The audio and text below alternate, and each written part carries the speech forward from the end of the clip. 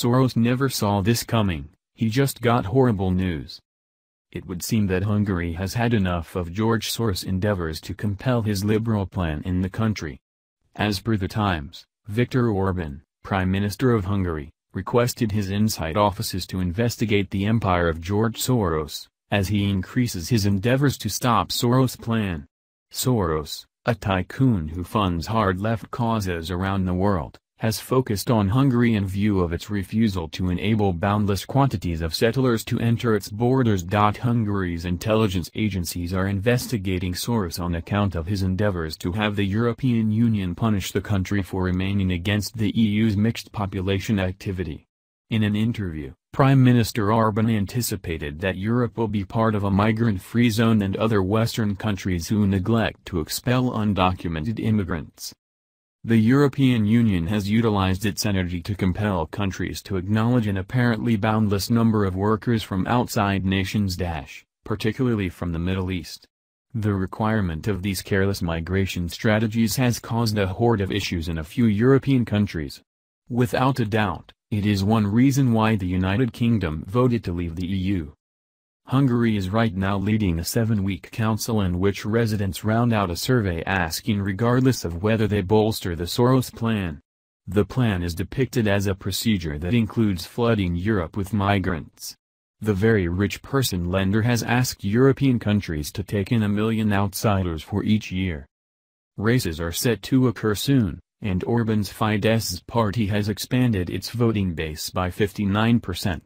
This demonstrates his attention on securing Hungary's borders is resounding with the general population. He has propelled a forceful campaign against Soros' plan, going so far as to erect announcements highlighting a photo of the extremely rich person with a message advising Hungarians to not let Soros have the last laugh. In an appearance on Hungarian radio on Friday, Orban hammered Soros' Open Society Network blaming them for driving a forcefully expert migration motivation with an end goal to dispose of the way of life and Christian personality of European countries. The Soros network has an extensive sphere of influence within the European Parliament and other EU bodies, Orban said, and its aim is to build a Europe of mixed population and to condemn the Hungarian government for opposing their view on migration. Orban additionally expressed that amid a week ago's summit in Brussels, he needed to battle a difficult task to restrict policies that would drive Hungary to give up its power. There was a great deal of pressure on me to compromise on migration, he said. The Prime Minister has consistently contended that every European country ought to have the privilege to build up its own immigration laws. He properly trusts that these nations ought not to be liable to the administrative officials in Brussels.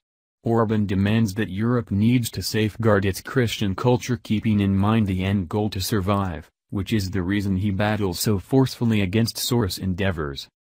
Orban's eagerness to remain against the endeavors of individuals like George Soros is invigorating, particularly while considering the way that most European countries have enabled the European Union to direct their immigration policies.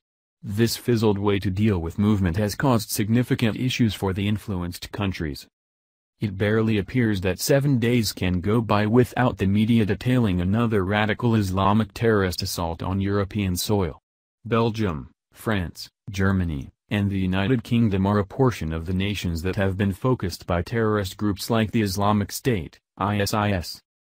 Basically, the EU's constrained immigration policies are executing individuals, yet much more than that, they are adding to the death of European culture. Ideally, more European leaders will take after Orban's example. What do you think about this? Do not hesitate and write your thoughts in the comment section below. Section below.